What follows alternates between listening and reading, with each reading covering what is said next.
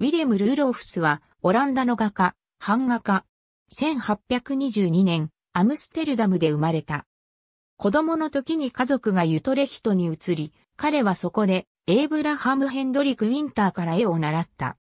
1839年、今度はハーグに移り、彼は美術アカデミーで学ぶとともに、H.G. バンデサンでベクワイ山のアトリエで修行した。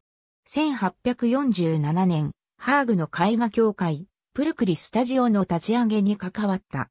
同年、突然ハーグを去って、ベルギーのブリュッセルに移り、そこで1887年まで暮らした。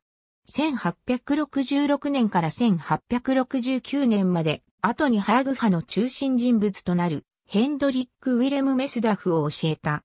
その他にも、ポール・ガブリエルなどの画家が彼の下で学んだ。1850年、フランスのフォンテーヌブローを訪れてバルビゾン派に魅了された。彼は1852年及び1855年にもフォンテーヌブローを再訪している。1856年、ブリュッセルのベルギー水彩画協会の設立に助力した。後にハーグ派の中心となる画家たちに大きな影響を与えた。また、1880年秋、ブルッセルを訪れたフィンセント・ファン・ゴッホに対してアカデミーへの入学を進めた。画業の他に昆虫学の研究を行い、甲虫類を専門にしていた。彼はイラスト入りの科学雑誌でその研究を発表したほか、ライデンの自然史博物館のために種の特定を行った。